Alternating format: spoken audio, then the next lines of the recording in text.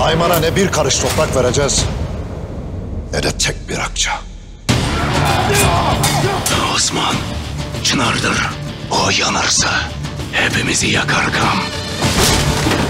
Osman'ı yıpratacaksın ve bunu Turgut'tan başlayacaksın. Sen konuşacaksın. Orhan kurtulacak. Onu yüneden yürürken görmek isterdin.